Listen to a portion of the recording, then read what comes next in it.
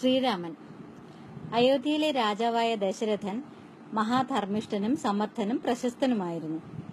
അദ്ദേഹത്തിന് മൂന്ന് ഭാര്യമാരുണ്ടായിരുന്നെങ്കിലും സന്താന സൗഭാഗ്യമുണ്ടായില്ല. ഈശ്വര പ്രാർത്ഥനയുടെയും യാഗങ്ങളുടെയും അവസാനം സാക്ഷാൽ മഹാവിഷ്ണു ദശരഥനിൽ പ്രസാദിച്ചു. ശ്രീരാമനായി മഹാവിഷ്ണു അവതരിച്ചു. രത്നാകരൻ വരുണന്റെ പുത്രനായിരുന്നു. പക്ഷേ ആ കുട്ടിയെ വളരെ ചെറുപ്പത്തിൽ തന്നെ ഒരു സംഘം കൊള്ളക്കാർ തട്ടിക്കൊണ്ടുപോയി. ഒരു കൊടും കാട്ടിലാണ് ആ കുട്ടി പിന്നെ വളർന്നത്. അവനെ വളർത്തിയെടുത്ത കൊള്ളക്കാർ കൊള്ളക്കാർക്കൊപ്പം അവനും കൊള്ള ചെയ്ത് ജീവിച്ചു. അന്ന് പുണ്യനദിയായ താമസയുടെ തീരത്തുകൂടി ആരും സഞ്ചരിക്കാറില്ല. അവിടം രത്നാകരന്റെ വിഹാര കേന്ദ്രമാണ്. കാട്ടുവഴിയിലൂടെ നടക്കുന്ന ആരെയും അയാൾ ആക്രമിക്കും കൊള്ളയടിക്കും. സ്ത്രീകളെയും വൃദ്ധജനങ്ങളെയും പോലും ആ ഭീകരനായ തസ്കരൻ വെറുതെ വിട്ടില്ല. പണവും ആഭരണങ്ങളും മാത്രമല്ല ഒരു മണി ധാന്യമോ ഉടുവസ്ത്രമോ പോലും പിടിച്ചു പറിച്ച് സ്വന്തം കുടുംബത്തിന് നൽകുന്ന രീതിയായിരുന്നു രത്നാകരന്റേത്. അങ്ങനെയിരിക്കെ ഒരു ദിവസം സപ്തർഷികൾ ആ വഴി വന്നു. കൈകളിൽ യാതൊന്നുമില്ലാത്ത മുനുജനത്തെ കൊണ്ട് കൊള്ളക്കാർക്ക് എന്തു പ്രയോജനം? പക്ഷേ രത്നാകരൻ അവരുടെ മുൻപിൽ ചാടി വീണു. വസ്ത്രങ്ങളും ജപമാലകളും അടക്കം ശരീരത്തുള്ളതെല്ലാം അവരോട് ആവശ്യപ്പെട്ടു. ഇവയൊക്കെ എന്തിനാണെന്നായി മുനിമാർ എന്റെ ഭാര്യയ്ക്കും മക്കൾക്കും കൊടുക്കാൻ എന്നായിരുന്നു തസ്കരന്റെ മറുപടി. രത്നാകരൻ ചെയ്യുന്ന ഈ പാപകർമ്മങ്ങളുടെ ഫലം ഭാര്യയും മക്കളും കൂടി പങ്കിടുമോ എന്നറിഞ്ഞു വന്നാൽ എല്ലാം തരാമെന്ന് മുനിമാർ വാക്കുകൊടുത്തു. അവൻ അതറിയാൻ വീട്ടിലേക്ക് ഓടി. ദുഃഖഭാരത്തോടെ അയാൾ മടങ്ങി വന്നു. സ്വന്തം ദുഷ്കർമ്മങ്ങളുടെ ഫലം സ്വയം അനുഭവിച്ചേ മതിയാകൂ. ഇതേവരെ കൊള്ളയും കൊലയും ആർക്കു വേണ്ടി ചെയ്തോ അതേ ഭാര്യയും മക്കളും തന്റെ പാപഫലം പങ്കിടാൻ ഒരുക്കമല്ല പോലും. രത്നാകരൻ സപ്തമഹർഷികളുടെ പാദങ്ങളിൽ വീണ പാപമോക്ഷത്തിനുള്ള മാർഗം അന്വേഷിച്ചു. കഠിന തപസ്സാണ് അവർ നിർദ്ദേശിച്ചത്. അതികഠിനമായ തപസ്സിൽ ആ കാട്ടുകള്ളൻ മഹാജ്ഞാനിയായി മാറി. ഇദ്ദേഹമാണ് ആദികവി വാത്മീകി. വർഷങ്ങൾ നീണ്ട തപസ്സുകൊണ്ട് ചിതൽപുറ്റിൽ മൂടിപ്പോയ രത്നാകരനെ അതുവഴി വീണ്ടും വന്ന സപ്തർഷികൾ പുറ്റുപൊളിച്ച് പുറത്തെടുക്കുകയായിരുന്നു. വാത്മീകത്തിൽ നിന്ന് അതായത് ചിതൽപുറ്റിൽ നിന്നുണ്ടായതുകൊണ്ടാണ് വാത്മീകിക്ക് ആ പേര് ലഭിച്ചത്. ഒരിക്കൽ ത്രിലോകജ്ഞാനിയായ നാരദ മഹർഷി വാത്മീകിയുടെ പർണശാല സന്ദർശിച്ചു. മനുഷ്യരിൽ ഉത്തമോത്തമനായ വ്യക്തി ആരെയെന്ന് വാത്മീകി നാരദനോട് ചോദിച്ചു. ഇക്ഷാകു വംശജനായ അയോധ്യാധിപതി രാമൻ എന്നായിരുന്നു നാരദന്റെ മറുപടി. ആ ഉത്തരം കേട്ട വാത്മീകി രാമന്റെ ജീവിതകഥ പഠിക്കുകയും അത് ആദികാവ്യമായ രാമായണമായി മാനവ വംശത്തിനായി എഴുതി വെക്കുകയും ചെയ്തു. ഭഗവാൻ മഹാവിഷ്ണുവിന്റെ അവതാരമായിരുന്നു ശ്രീരാമൻ. മക്കളില്ലാതെ വളരെ നാൾ ഈശ്വര പൂജയോടെ കഴിഞ്ഞ ദശരഥ മഹാരാജാവിന് പുത്രകാമേഷ്ടി യാഗത്തിലൂടെ നാല് പുത്രന്മാർ ജനിച്ചു. ദശരഥ മഹാരാജാവിന്റെ ഭാര്യമാരിൽ മൂത്തവളായ കൗസല്യയുടെ പുത്രനായാണ് ശ്രീരാമൻ ജനിച്ചത്. രണ്ടാമത്തെ ഭാര്യയായ കൈകേയിക്ക് ഭരതനെന്നും മൂന്നാമത്തെ ഭാര്യ സുമിത്രയ്ക്ക് ലക്ഷ്മണ ശത്രുഘ്നന്മാർ എന്ന ഇരട്ട കുട്ടികളുമാണ് ജനിച്ചത്. മൂന്ന് ലോകങ്ങളെയും അടക്കി ഭരിച്ചിരുന്ന രാവണന്റെ ആക്രമണത്തിൽ നിന്ന് ലോകത്തെ രക്ഷിക്കാൻ ദേവ മുനിജനം മഹാവിഷ്ണുവിനെ സമീപിച്ചിരുന്നു. ത്രേതായുഗത്തിൽ രാമനായി അവതരിച്ച് ലോകപാലനം ചെയ്യാമെന്ന് ഭഗവാൻ അവർക്ക് വാക്കുകൊടുക്കുകയും ചെയ്തു. അതനുസരിച്ചാണ് അയോധ്യ രാജാവിന്റെ പുത്രനായി ഭഗവാൻ അവതരിച്ചത്. അയോധ്യയിലാകെ ഉത്സവമായിരുന്നു അക്കാലം. സന്താനങ്ങളില്ലാതിരുന്ന മഹാരാജാവിന് ഇതാ നാല് പുത്രന്മാർ ജനിച്ചിരിക്കുന്നു. അതും സൂര്യചന്ദ്രന്മാരെ പോലെ ശോഭയുള്ള നാല് ദിവ്യബാലന്മാർ. അവരുടെ ജനനത്തോടെ രാജ്യത്തിന്റെ ഐശ്വര്യവും വളരെ വർദ്ധിച്ചു. എങ്ങും സമ്പൽ സമൃദ്ധിയും സന്തോഷവും. കെടുവാനൊരുങ്ങുന്ന ദീപനാളത്തിന്റെ ആളിക്കത്തൽ മാത്രമാണതെന്ന് ആരും അറിഞ്ഞില്ല. മിഥില എന്ന അയൽ രാജ്യത്തെ നാല് രാജകന്യമാരെ ഇതിന്റെ കുമാരന്മാർ വിവാഹം കഴിച്ചിരുന്നു. നാല് സഹോദരിമാരിൽ മൂത്തവളായ സീതയാണ് ശ്രീരാമന്റെ ഭാര്യയായത്. ലോകമാകെയും വാഴ്ത്തിയ ഒരു സ്വയംവരമായിരുന്നു അവരുടേത്. മിഥിലയിലെ രാജാവായ ജനകന് ഉഴവുചാലിൽ കിടന്നു കിട്ടിയ ഒരു പെൺകുട്ടിയായിരുന്നു സീത.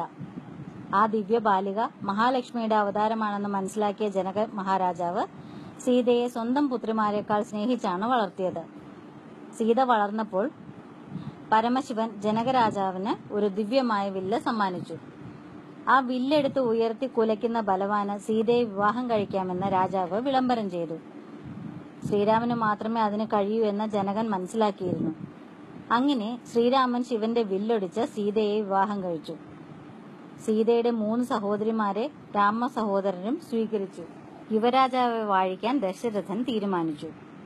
ദശരഥന്റെ രണ്ടാമത്തെ ഭാര്യയായ കൈകേയിക്ക് മന്ധര എന്നൊരു ദാസിയുണ്ടായിരുന്നു. ദുഷ്ടയും വക്രബുദ്ധിയുമായിരുന്നു മന്ധര ശ്രീരാമനെ മറികടന്ന് കൈകേയിയുടെ പുത്രൻ ഭരതനെ രാജാവാക്കാൻ മന്ധര കൈകേയിയെ ഉപദേശിച്ചു.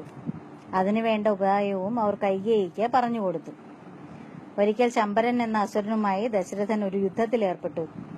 ദശരഥന്റെ തേരിൽ കൈകേയും ഉണ്ടായിരുന്നു യുദ്ധം അതിശക്തമായപ്പോൾ ദശരഥന്റെ തേരിന്റെ ഒരു ചക്രത്തിന്റെ ആണി പിഴുതു തെറിച്ച് ഊരിപ്പോകാറായി. ഭാഗ്യത്തിന് കൈകേയി ഇത് ശ്രദ്ധിച്ചു. ചക്രം തെറിച്ചു പോകാതെ രഥം മറിയാതെ ഇരിക്കാൻ അവർ സ്വന്തം കൈവിരൽ രഥചക്രത്തിന്റെ ആണിപ്പഴുതിലേക്ക് ഇട്ടു. ഇതറിയാതെ ഉഗ്രയുദ്ധം ചെയ്ത മഹാരാജാവ് ശമ്പരനെ വധിച്ചു. അതിനുശേഷമാണ് ചോരവാർന്നൊഴുകുന്ന കൈയുമായി രഥചക്രം സംരക്ഷിക്കുന്ന ഭാര്യയെ അദ്ദേഹം കണ്ടത്. ഭാര്യയുടെ ധീരതയെ പുകഴ്ത്തിയ രാജാവ് മൂന്ന് വരങ്ങൾ ആവശ്യപ്പെട്ടുകൊള്ളാൻ കൈകേയിയോട് പറഞ്ഞു. ഇപ്പോൾ വരമൊന്നും വേണ്ട എന്നും ആവശ്യമുള്ളപ്പോൾ ചോദിക്കാമെന്നും അന്ന് കൈകേയി പറഞ്ഞിരുന്നു. ഈ സംഭവം മന്ധര കൈകേയിയെ ഓർമ്മിപ്പിക്കുകയും തന്റെ പുത്രനായ ഭരതനെ യുവരാജാവാക്കണമെന്നും രാമനെ വനത്തിലേക്ക് അയക്കാൻ വേണ്ടത് ചെയ്യണമെന്നും രാജാവിനോട് ആവശ്യപ്പെടാൻ ഉപദേശിക്കുകയും ചെയ്തു. ആ ദുഷ്ടബുദ്ധിയുടെ ഉപദേശം ഫലിച്ചു. കൈകേയി ഭർത്താവിനോട് വരം ആവശ്യപ്പെട്ടു. ഭരതനെ യുവരാജാവാക്കണം രാമനെ വനത്തിലേക്ക് അയക്കണം പതിനാല് വർഷം രാമൻ വനത്തിൽ കഴിയണം. ഇതായിരുന്നു കൈകേയി ആവശ്യപ്പെട്ട വരം. രാജാവ് കേൺ അപേക്ഷിച്ചിട്ടും കൈകേയി പിന്മാറിയില്ല.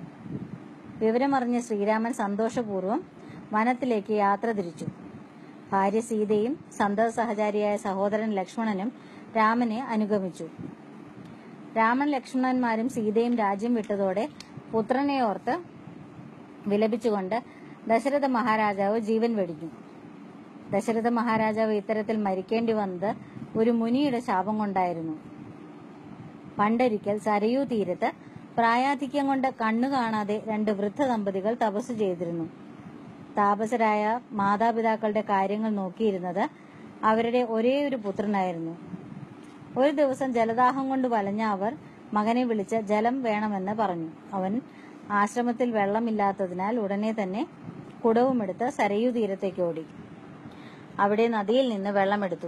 ഇതേസമയം ദശരഥ മഹാരാജാവ് നായാട്ടിനായി കാട്ടിൽ അലയുന്നുണ്ടായിരുന്നു മൃഗങ്ങളെ ഒന്നും കാണാതെ നിരാശയോടെ അദ്ദേഹം നിൽക്കുമ്പോഴാണ് മുനികുമാരൻ നദിയിൽ കുടം മുക്കി ജലമെടുക്കുന്ന ശബ്ദം കേട്ടത്. അത് കേട്ട് ആന തുമ്പിക്കൈയിൽ വെള്ളം നിറയ്ക്കുന്ന സ്വരമാണെന്ന് രാജാവ് കരുതി. ആനയെ കൊല്ലുവാൻ പറ്റിയ ഒരു ഉഗ്രൻ അമ്പെടുത്ത് അദ്ദേഹം സ്വരം കേട്ട ഭാഗത്തേക്ക് പായിച്ചു. അമ്പ് നെഞ്ചി തറച്ച മുനികുമാരൻ നിലപതിച്ചു. കരച്ചിൽ കേട്ട ഭാഗത്തേക്ക് ഓടിയ രാജാവ് മുനികുമാരനെ കണ്ടു ഞെട്ടി. വൃദ്ധരും അന്ധരുമായ മാതാപിതാക്കൾക്ക് ജലം കൊടുക്കാൻ രാജാവിനോട് അപേക്ഷിച്ച് ആ പാവം ജീവൻ വെടിഞ്ഞു. തകർന്നുപോയ ദശരഥൻ അന്ധവൃദ്ധരെ അവരുടെ മകന്റെ മരണം അറിയിച്ചു. പുത്രദുഃഖത്താൽ നീയും മരിക്കുമെന്ന ശാപത്തോടെ ആ തപസുകൾ സ്വപുത്രന്റെ ചിതയിൽ ചാടി മരിച്ചു. രാമൻ കാട്ടിലേക്ക് പോയതോടെ ഈ ശാപഫലമായ മരണം ദശരഥന് സംഭവിച്ചു. കാട്ടിലെത്തിയ രാമലക്ഷ്മണന്മാർ പഞ്ചവടിയിൽ താമസമാക്കി. സന്തോഷകരമായ ആ ജീവിതം അധികനാൾ നീണ്ടു നിന്നില്ല ശൂർപ്പണഖ എന്നൊരു രാക്ഷസി ഒരു സുന്ദരിയുടെ വേഷം കെട്ടി രാമലക്ഷ്മണന്മാരെ വിവാഹം കഴിക്കണമെന്ന അഭ്യർത്ഥനയുമായി അവിടെ എത്തി. അവളുടെ ശല്യം സഹിക്കാതെ വന്നപ്പോൾ ലക്ഷ്മണൻ വാളുകൊണ്ട് അവളുടെ മൂക്കും കുജങ്ങളും അരിഞ്ഞു കളഞ്ഞു. ഇതറിഞ്ഞ് യുദ്ധത്തിന് വന്ന ശൂർപ്പണക്കയുടെ സഹോദരരായ ഖരൻ ഭൂഷൺ ത്രിശരസ എന്നിവരെയും രാമലക്ഷ്മണന്മാർ വധിച്ചു. ഈ വിവരം രാക്ഷസ രാജാവായ രാവണൻ അറിഞ്ഞു. ശ്രീരാമനെ ഒരു പാഠം പഠിപ്പിക്കാൻ രാവണൻ തീരുമാനിച്ചു.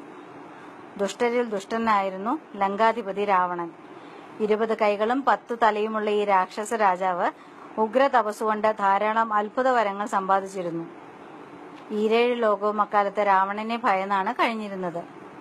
പഞ്ചവടിയിലെ പർണശാലയുടെ മുറ്റത്ത് സീതാദേവി ഒരു മാനിനെ കണ്ടു. മനോഹരമായ മാൻകുട്ടി സ്വർണ നിറവും ഇണങ്ങിയ പ്രകൃതവും. അത് ദേവിയെ കൊതിപ്പിച്ചുകൊണ്ട് തുള്ളിച്ചാടി തുള്ളിച്ചാടി നടന്നു. മാനിനെ പിടിച്ചു തരാൻ സീത ഭർത്താവിനോട് പറഞ്ഞു. ശ്രീരാമൻ അതിന് ശ്രമിക്കുന്തോറും മാൻപേട ആശ്രമ പരിസരത്തു നിന്നും തുള്ളിച്ചാടി തുള്ളിച്ചാടി അകന്നുപോയി. രാവണ നിർദ്ദേശപ്രകാരം കപടവേഷത്തിൽ വന്ന മാരീചനായിരുന്നു അത്. വളരെ ദൂരെ നിന്നും ശ്രീരാമന്റേതുപോലെ ഒരു നിലവിളി കേട്ട സീത ഭയന്നു. രാമന്റെ അമ്പുകൊണ്ട് നിലംപതിച്ച മാരീചന്റെ ഒരു തന്ത്രമായിരുന്നു അത്.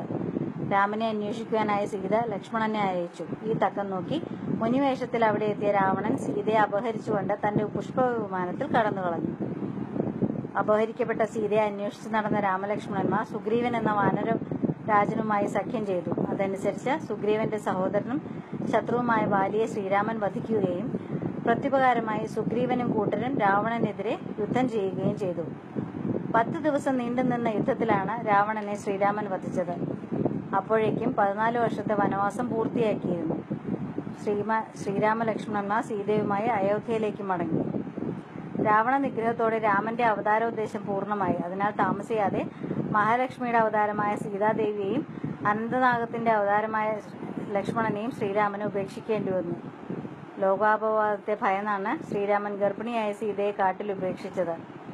കാലഭഗവാന്റെ നിർദ്ദേശപ്രകാരം ലക്ഷ്മണനെയും ഉപേക്ഷിച്ച ശ്രീരാമൻ അധികം താമസിയാതെ സ്വയം സരയൂ നദിയിലിറങ്ങി സ്വർഗലോകം പോകി.